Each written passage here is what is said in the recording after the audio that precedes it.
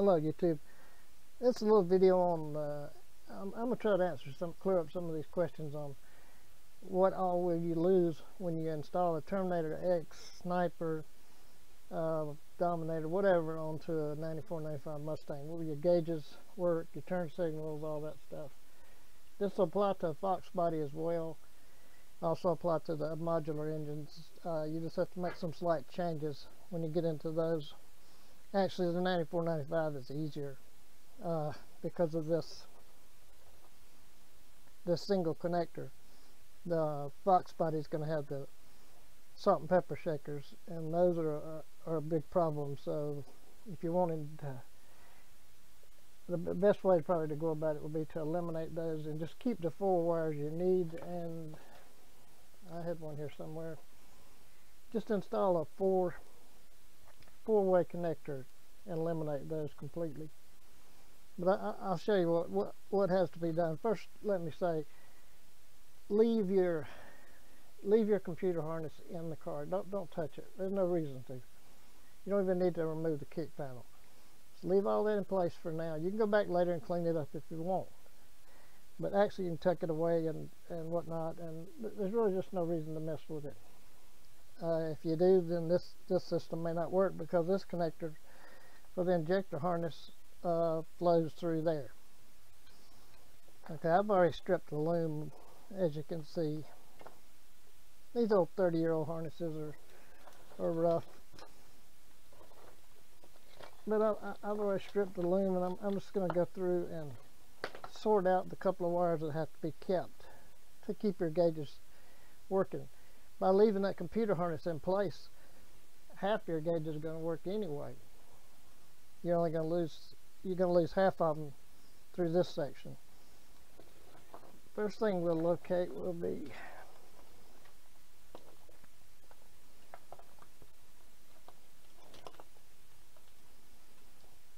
it's a red and white wire.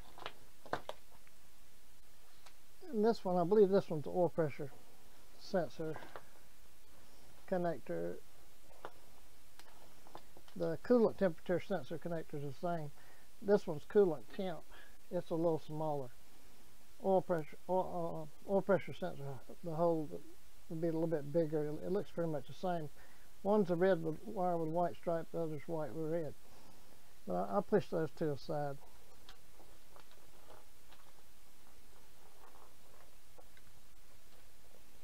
Okay those are those are here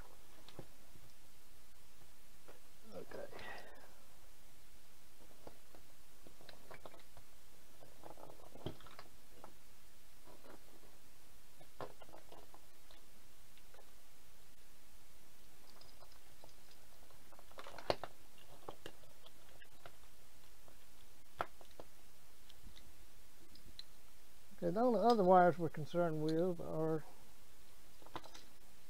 is a coil connector. If you're going to use a TFI, if you're going to use a TFI system, you don't need to do anything here. You can use, this one's broke, so I, I would replace it anyway. But basically you don't need to do anything to this connector. This one will get replaced with a standard, uh, standard manufacturer. And it already has the two, uh, two uh, coil negatives. So all you're going to do to connect to the TFI adapter, the, the TFI adapter is going to plug into the Holley harness. The other end is going to plug into the TFI. You're going to have one white wire that's loose. It needs to go to coil negative. So this connector is perfect for that. You just connect to here. You're done there. Plug these in if you're going to use a, a Holley ignition system, a dual sync, uh, whatever, then you don't you don't need this connector at all. You just cut these wires. Use the positive side to power your Holley ignition system. It's a true ignition switched 12 volt, so that's perfect for power. The other wires actually just go straight to the tachometer, straight to the gauge. So use the output wire on your uh, Holley system, connect it to this wire. Then your tachometer works. That's the connector that I would use to replace. That's a three-way, but you would need a four-way. That's what I replace those uh, salt and pepper shakers with. These harnesses are relatively cheap and easy to find. So I'm not going to depin it and and save it. I've, I've got several of these out in the shop. So I, I'm just going to do a little work on it. I'll cut the short wire off. I also cut this uh, this hot wire that went to the radio radio static condenser.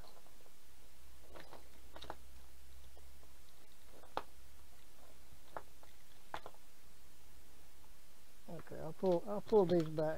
Try to get this where I can see it. I, I don't have a cameraman, so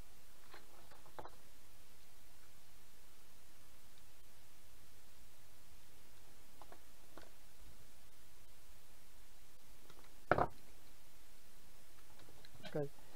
Now I have the coil wires, I have the coolant temp sensor and the oil pressure sensor wire separated.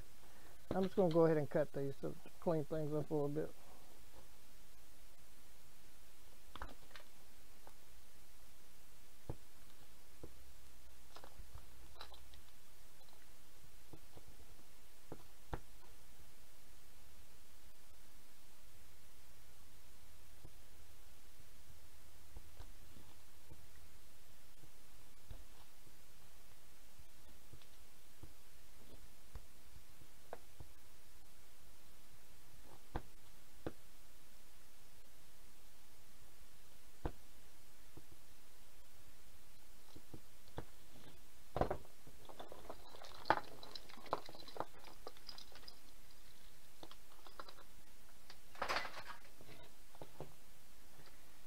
That's all we're left with.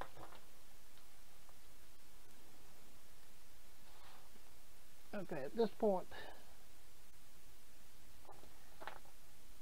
I can pull these pull these little red locks out and I can depin the rest of this harness. Just be careful that you don't depin the wires you're keeping or you'll have to go through the headache of uh, putting them back where they belong.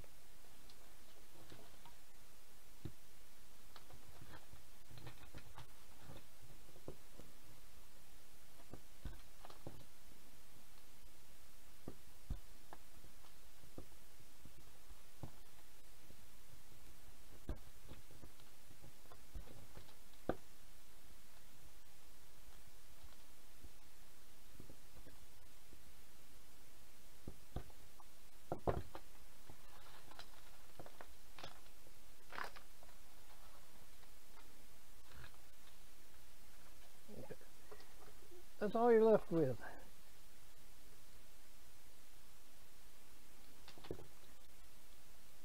Other than connecting the one wire here to go to your TFI adapter, it's ready to run. Everything will work. Uh, everything ignition wise. Ignition and gauges will work. You still have to do, you have to spend a couple of minutes to hook one wire to the um, if you're running a stock fuel pump, you'll have to connect one wire to the a wire over at the CCRM. The CCRM is good to get rid of anyway because they're nothing but problems. You can't get a good one anymore.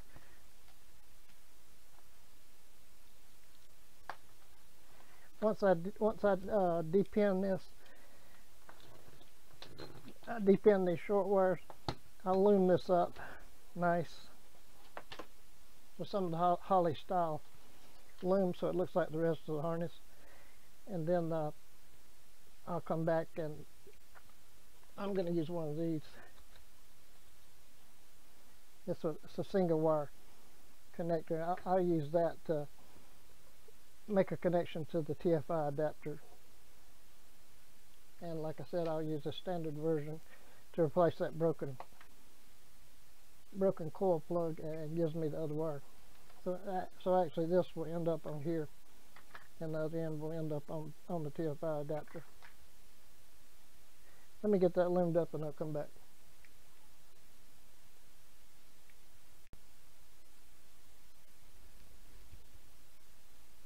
Okay, here, this is just a quick job. I didn't have any of the split loom in 1 8 inch. It's all all of mine is solid, and rather than cut the ends off and and slide it on and recramp and all that, I just uh, left those open.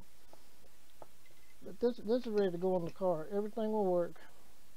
That will connect to the TFI adapter. That will plug into the coil, and you're done there. You're ready to go.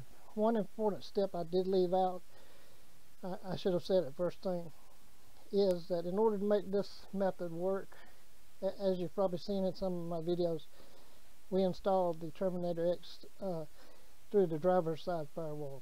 There's not enough room to uh, feed it along with the uh, OE harness through the hole that's uh, located up inside the inner fender well on the passenger side. It, also, also, if you do run one that way, the harness will come up a little bit short.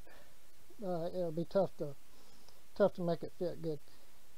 The uh, kits, the harness is really intended for Fox bodies, and the Fox body goes through the firewall closer over toward the engine. So if you go through there, uh, the inner fender with the regular uh, harness, it'll it'll come up a little short. It'll make it hard for you to connect things.